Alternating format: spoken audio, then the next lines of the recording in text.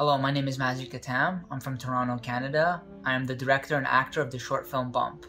The film is about these two guys who bump into each other in the middle of the street. One character decides not to let this encounter go and starts to pursue the other guy, demanding an apology. The film touches upon male insecurity and toxic masculinity. We decided to shoot the film in a single take to make the audience feel like they're pedestrian down the street. The film is largely improvised by myself and the other actor, Dylan. Early on, we decided not to have any permits and to film with real people, which made the film feel more authentic and also resulted in a number of takes where people would intervene. A homeless person tried to talk to us, and two guys were just watching us fight at one point.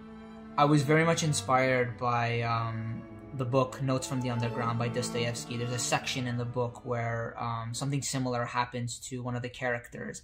And I thought that this would be a very interesting scenario to explore using Toronto subculture. This is what made it feel personal to me. Very excited to be part of the lineup. Thanks for watching this video.